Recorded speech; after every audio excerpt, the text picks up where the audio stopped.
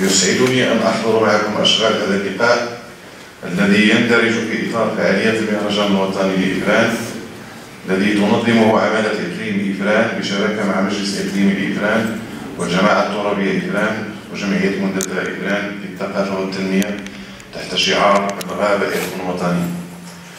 والذي يحضرها خبراء في المجال الغابوي وجمعيات المجتمع المدني النشيطة في المجال البيئي وغيره من المجالات المتعلقة بالغابة ولا يفوتني بهذه المناسبة أن أرحب بنائب مدير شركة أفياسيون وضيوفه الكرام والذي يستعد لإطلاق مشروع تشجير للغابات بإفران وإذ أرحب بهذه المبادرة من شركة مواطنة مؤسسها ابن مدينة إفران وإن دل هذا فإنما يدل على تشبثه بالتنمية المستدامة بمصرف رأسه. وخاصة في المحافظة على هذا الإرث الغابوي الوطني. ولا يسعني إلا أن أرحب بأية مبادرة في هذا الاتجاه ترمي إلى ترسيخ الشعور بالمسؤولية الفردية والجماعية للمحافظة على الغابات وتحسينها حسن أقنو إطار بالمنتزه الوطني لإفران. نتواجد الآن في فعاليات آه، مهرجان آه، إفران الذي ينعقد هذه السنة تحت شعار الغابة إرث وطني وهذا آه، هذا الشعار هو شعار يتلائم مع طبيعة الإقليم الذي يعتبر إقليما غابويا بامتياز بحيث تشكل الغابة فيه 33% أي ما يعادل 116 ألف هكتار. ويحتضن واحد من أهم المنتزهات الوطنية على الصعيد الوطني ألا هو المنتزه الوطني لإفران الذي يزخر بتنوع بيولوجي مهم على الصعيد الحيوانات والنباتات. وجاءت استراتيجية المغرب 2020 2030 من أجل تأهيل هذه المنتزهات. لا نعتمد فقط على المحافظة على التنوع البيولوجي ولكن تثمين هذا التنوع البيولوجي من أجل آه، صالح الساكنة المحلية عبر خلق فرص شغل وعبر تشجيع السياحة البيئية التي تدر مداخل على الساكنة المحلية. وكذلك تنمي الموروث الطبيعي والثقافي بالمنطقة. الاسم ديالي محمد الخدوش إطار بالمديرية الجهوية للوكالة الوطنية للمياه والغابات لجهة فاس مكناس. آه، مسؤول عن تطوير الشراكات والتربية البيئية والتنمية المستدامة. اذا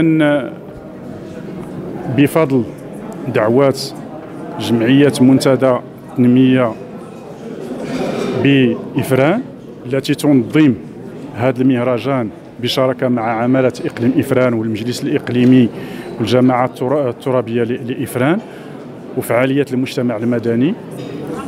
آه، جينا باش نحضروا يعني باش نوضحوا شنو هي استراتيجية الجديدة غابات المغرب 2020 شنو هي الأهداف ديالها شنو هي المرتكزات ديالها؟ وشنو هي أهم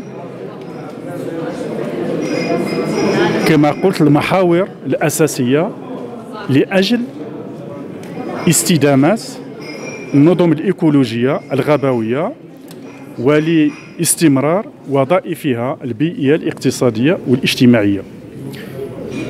اذا أعطى صاحب الجلالة نصر الله انطلاق الاستراتيجية الوطنية غابات المغرب 2020 2030 13 فبراير 2020 وتأسست الوكالة الوطنية للمياه والغابات فاتح يناير 2021 بموجب القانون 2052 إذا هذا التغيير المؤسساتي للقطاع كما قلت يحاول الانفتاح على جميع الشركاء بما في ذلك.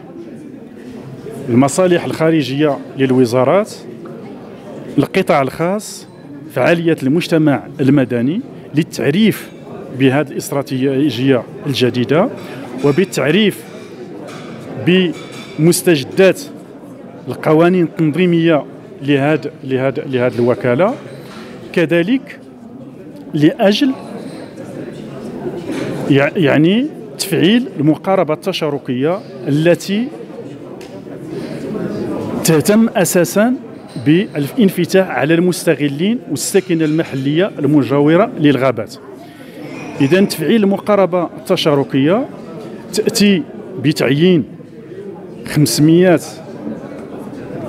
عون تنمية الشراكات بالوكالة في أفق 2030 كذلك تأسيس حوالي 200 منظمة تنمية الغابوية لي دي إف. وكذلك فتح الشراكات مع القطاع الخاص خاصة في هيكلات وتهيئة المشاتل لإنتاج الشتلات لتخليف محيطات التشجير وبالتالي تخليف النظم الإيكولوجية الغابوية والتنوع البيولوجي بصفة عامة.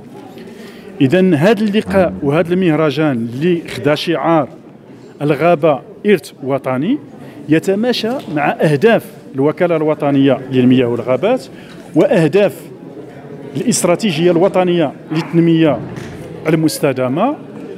ونتمنى أن نكون عند حسن ظن صاحب الجلالة كما قلت الذي أعطى تعليمات حول تفعيل يعني الجدية والفعالة والتفاني في العمل لخدمة المصلحة العامة وللنهوض بجميع الأوراش التنموية بالمملكة.